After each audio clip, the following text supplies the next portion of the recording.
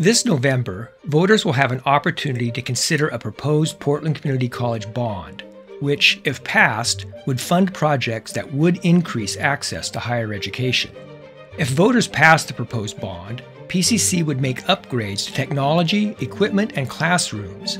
These updates would provide more options for hybrid learning, so students could better plan their classes with job, childcare, and transportation schedules.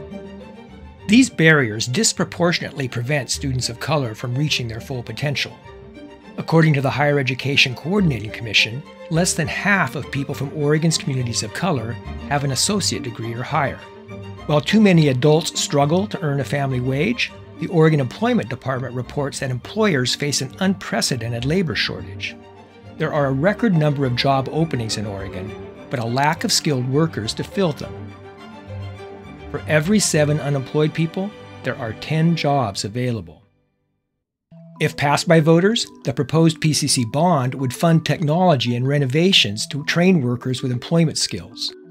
Proposed bond funds would renovate aging facilities at the Rock Creek and Sylvania campuses. PCC would also expand technical career education in Washington County. The proposed bond funds would also increase facility lifespan and efficiency through heating and cooling upgrades to conserve operating expenses.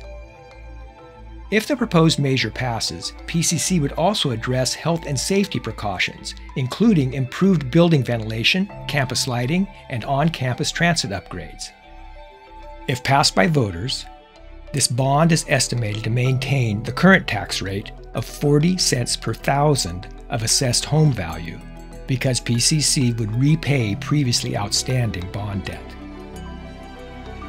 The proposed bond would support students regardless of their zip code, background, or family circumstances, so that anyone who wants a college education would have access to one.